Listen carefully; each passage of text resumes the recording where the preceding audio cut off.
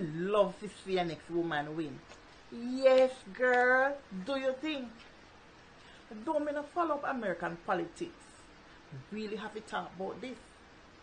Mr. Joe Biden made his announcement and named his selection for vice president. Now Miss Kamala Harris him choose. Girl, it all over the news.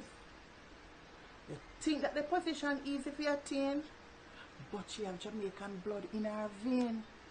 Yes, them say her father is from St. Anne, the same parish that I am from. Somewhere between Indian Town and Orange Hill. And that's where we start wonder still. If we could be related or something. Maybe she am my third, fifth, or twentieth cousin. Anyway, all jokes and politics aside, me emotions, me just can't hide. Feel good as a woman. See another strong, industrious, intelligent woman, hard working black woman. I run for that the high seat. Woman, yes, I saw we do it. For way too long they held us back. A woman's place is in the home. Imagine that. But we are more than baby making machines. And we can do much more than keeping the home clean.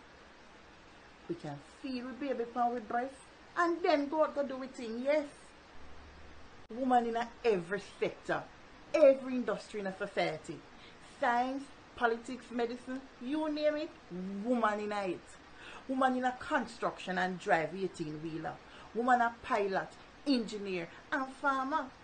Woman, woman in a lab, technology and in a market. Woman stay home and take care of their family. But the point is this. Woman, we stop conform to gender roles and limitations. We pursue our dreams and aspirations. Woman, we are nurturers and nation builders.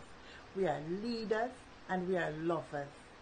Woman, we show our little girls no dream is too big. So whatever your field is, woman, just go and do your thing.